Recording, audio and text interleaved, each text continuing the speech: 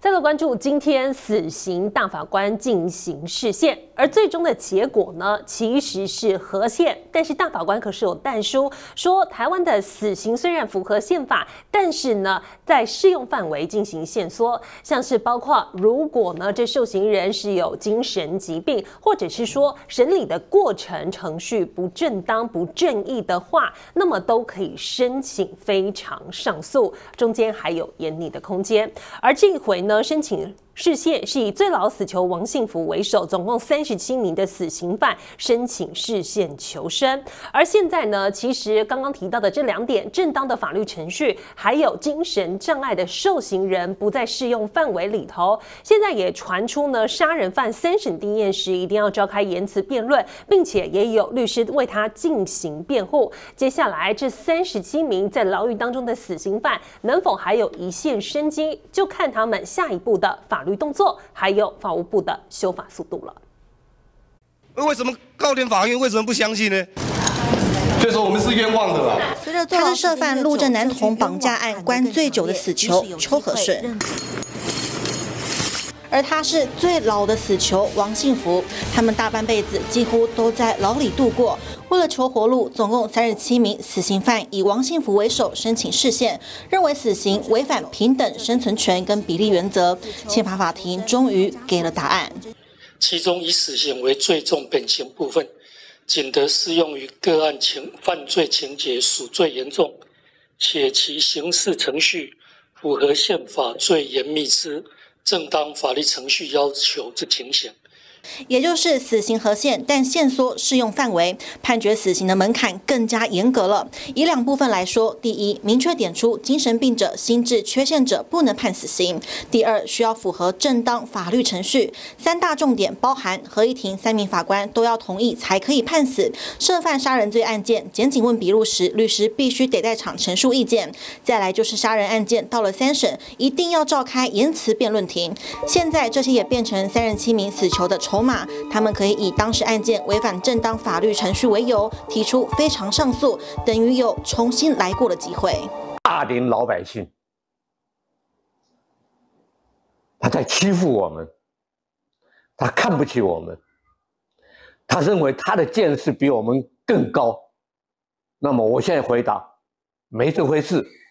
如今死刑事件有了结果，两年内相关部门也必须修法，在线索范围内如何定义何谓适用死刑，重担再次回到法务部。TVB 新闻综合报道。不过，死刑的存废在台湾相当于来说是一个敏感、争议性颇高的议题，有诸多的民调，并且历年显示，平均来说呢，台湾社会有七成的民众是反对废除死刑的。不过，观众朋友，您知道吗？其实台湾也已经四年没有执行死刑了。所以，刚刚在新闻当中呢，有许多的受害者家属面对不管是申请释宪案，或者是部分核宪进行条件的限缩，其实心中都还是愤愤不平。的不过，另外一个死刑案的光谱就是废死团体了。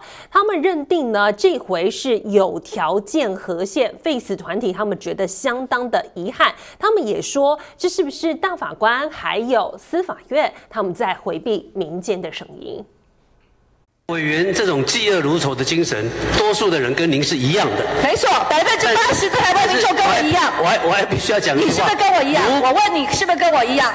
一样。行政院长卓荣泰表态，这心情跟被害者一样，看到宪法法庭宣判死刑释宪案是有条件和限，要这样关关卡卡，而不是让三十七名的死刑犯又一次得到了免死金牌，对不对？哦，这个不是这样的，这个三十七七位的死刑。您回答我，你们要需要多少时间？我我没办法这个，我们尽速请最高检察署就判脚步能加快。对于这判决结果，国民党团正面看待。被害者家属的心情，今天显然大法官听见了。民进党的政治人物也因为这些人民的愤怒之声，我们认为啊。也开始谦卑了，认为大法官终于听见民意，但这说法似乎跟党中央有别。国民党看到这判决相当遗憾。我们对于今天事件的结果表达最大的遗憾。绝大多数台湾人民的感受，事实上有相当大的落差，甚至大开后门，这样子的状况我没办法接受。那大家关注这三十七名死刑，确定被告身份是否会受影响呢？判决还是存在，他那个呃身份是没有改变，继续来收容。强调都会尽速审理。同样，执政党立委关心，因大法官内容有提到要强化诉讼制度，等于后续修法政策应该要有精进作为，有信心吗？我我们会遵照那个呃宪法法庭的一个判决结果，在两年内。看来是有信心，民众党团也正面看待。不太有意义的一个事件啊，基本上我们现在还是维持有死刑的存在。总统表示尊重宪法法庭对死刑制度和宪性的判决，死刑有条件和宪，朝野攻防再添新话题，待这结果不知受害者家属能否买单。TVB 新闻董俊江、明安女轩 SO 组台北场报道。好，观众朋友，刚刚为您更正哦，是废死团体，他们进一步对于大法官认为死刑合乎宪法，但是限缩适用性，觉得在这过程当中呢，废弃过去已经签署的两公约，是在回避民间的声音，并且他们同时也会继续协助发出这个呃。死刑四视线的三十七名死囚会提供必要的法律协助，这是我们收到的最新讯息。不过，这个死刑对于台湾社会来说是一个相当撕裂的话题。现在已经确定了，大法官认定死刑是合乎宪法的，但是有限缩相关的条件。那么，现在也有很多的受害者家属就在质问了：台湾已经四年没有执行死刑，那么接下来法务部是否会压？力山大，到底要不要根据合乎宪法的这样的结果来执行死刑呢？那么，观众朋友，我们也重视您对于死刑议题的意见，欢迎大家呢在留言区，您觉得台湾四年没有执行死刑，接下来法务部该不该执行呢？留言表达您的看法。如果认为应该的话，就加一；不应该加二。没意见的话，麻烦帮我们在留言区写上零。我们想要了解大家对于这次事件案以及后续死刑是否应。应该执行，欢迎大家参与互动。而与此同时呢，其实，在新北市三重当初犯下杀人案的这一名黄林凯，在凶手判死刑定验之后，现在都还没有执行。而大法官已经做出解释了，有很多的家属其实第一时间他们也出面发声，他们觉得虽然合乎宪法，但是呢，死囚发出了。视线的这样的请求，对于他们来说，就是在伤口上撒盐。手机里这一串熟悉的号码，这是宝贝小女儿的电话。十一年过去了，王爸爸还是舍不得删除。小女儿电话个老的啊。当年才十九岁的小女儿，努力打工赚学费，就是不让独自撑起家计的父亲太辛苦。没有想到和母亲同遭前男友黄林凯的毒手，这埋在家属心中的痛，好不容易慢慢淡去，却因为黄林凯也申请续线，再度引起不满。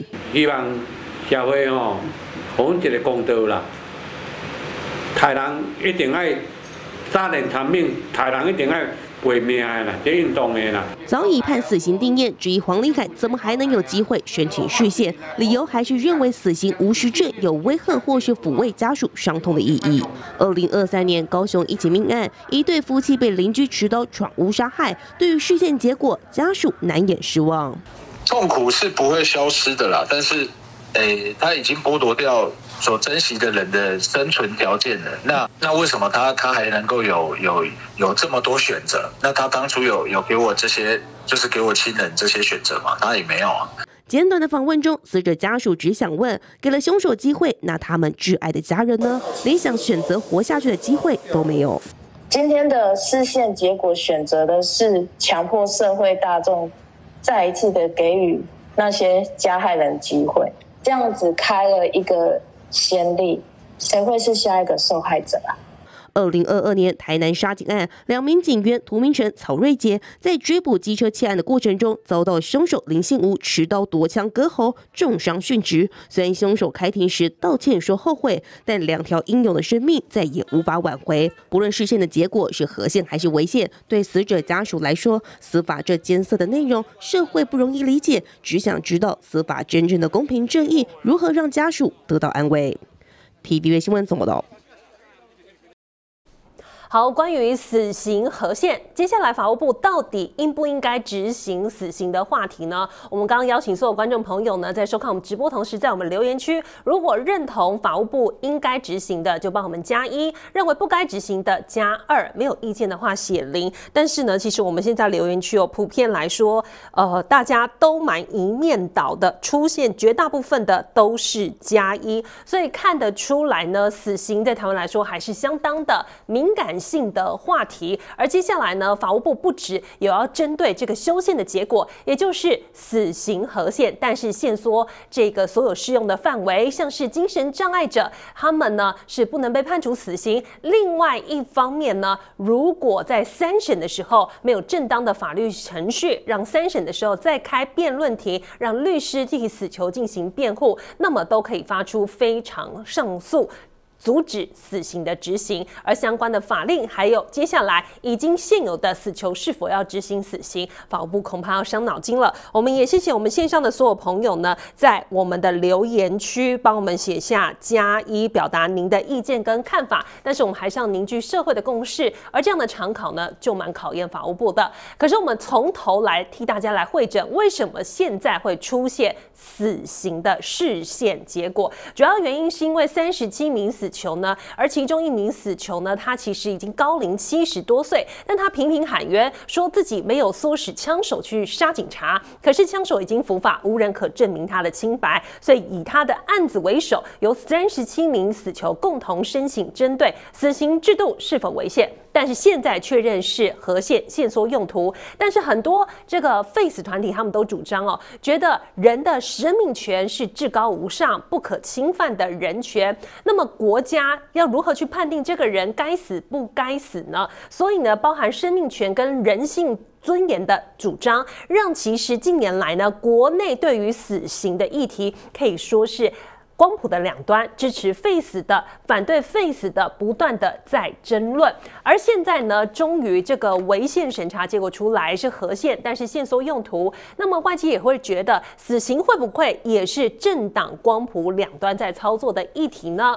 因为呢，今天国民党呢就第一时间提出了质疑。他说，虽然法官现在认为死刑是合乎宪法的，但是却限缩了用途，这会不会是一种实质的核？见呢？而同时呢，过去大家也说废死是不是民进党的主张？因为历来的总统人选，第一个把废除死刑或是减少死刑的执行，是从两千年陈水扁的时代开始的。当时呢，外界就有评论说，废死的立场是不是写进了民进党的党章？因为呢，这可以追溯到过去我们在民主化的过程当中，党外运动人士呢，其实在国民党的执政时期，或者是还没解严时，动员戡乱条例。的时候，有非常多的异议人士、党外人士都被逮捕。那么当时民进党他们呢是以党外的身份发掘了这样的核心议题，就说要严防冤狱，严拟死废死刑的可行性。所以有条件的核宪会不会接下来也会宣告？其实台湾慢慢还是朝废死的方向继续前进呢。而这个挺废死的六大理由呢，违反人权，我们刚好提到，还有呢，很多人主张死刑并不能够遏阻犯罪的发生，没有解决根本的问题，违反了国际联合国的两公约，还有其他的刑责可以替代死刑，很难遏制犯罪发生。同时呢，没有人有权利去剥夺他人的生命。而这样的理念呢，跟现在台湾社会觉得善有善报。因果循环的这样的概念，还有很多的受害者家属，他们认为这个加害者执行死刑，对于受害者遗族来说，也可以达到精神抚慰的效果。很多的研究都呈现两极的趋势。现在台湾社会目前还没有共识，这很有可能就是为什么大法官有感受到社会的声音，所以他们做出了这个限缩死刑的适用范围，决定核限这样的理由了。而这回三十七位死囚发起了视线案，其中一位呢也是社会瞩目的人物，这是被司法界称为“金氏媳妇”的林瑜如。当年呢，她嫁入了南投的臭豆腐批发的家庭，但是呢，因为签赌积欠下了巨额的赌债，让妈妈投保了五百万元的身故保险，将妈妈杀害。事后食髓知味，故技重施，还杀害了自己的婆婆。甚至呢也对自己的丈夫下手，直到这个理赔的保险员觉得奇怪，怎么身边的至亲都出事，而出事前都保了高额的保险金，案件才曝光。爱签六合彩的金氏媳妇林玉如，在二零零九年的时候犯下杀人案，在二零一三年的时候被判了死刑。如今呢，经过了十一年，她成为台湾唯一一个女死囚。穿着红色背心被法警带着走的林玉如，当时嫁给南投臭豆腐批发三代，因被堵在压得喘不过气，先帮母亲投保五百零五万的寿险以及意外险，隔月狠心杀害母亲领钱，但钱不够还四分之一的赌债，找上她的婆婆，下药让婆婆住院。再下手，想要领到一千零七十万的理赔金，十随之位，同样手法变成自己的丈夫，直到理赔保险员觉得怪，报警，整个案件才曝光。一年内杀害妈妈、婆婆和丈夫，被称为南投金氏媳妇。二零二四年九月二十号，宪法法庭判决死刑和宪，等待执行死刑的三十七位死囚都可以申请非常上诉。精神障碍或是其他心智缺陷者不得执行死刑。也就是说，主张心智缺陷的林于如，如果修法后可能没了死刑。违法辨识能力已经有显著降低的被告，他承担罪责的能力有所欠缺，不应该对他科处死刑。进行刑事程序的整体公平正义性可跟可信赖度会有所减损。而林玉如的律师团在申请释宪的理由中指出，他在行政院卫生署的草屯疗养院鉴定认定语言智商为六十五，非语言智商为五十一，总智商只有五十七，是无法预期自己行为的后果。对于智能不足者，不应科处死刑。消息传回婆家耳里，不能接受。二十几年了又怎样？反正他关在里面，他也没有在害怕，也没有后果。大家。才能办案成功，那就很好笑，这没有天理了。刘家人认为没有天理，被林如开车撞过放火烧店面的臭豆腐老店，还保留火烧的痕迹，也直呼外界只记得林于如杀害三名至亲，其实他是最早的受害者。不公平啊，对不对？他杀那么多人，把把我们店都放火烧，我们财财产、生命的损失。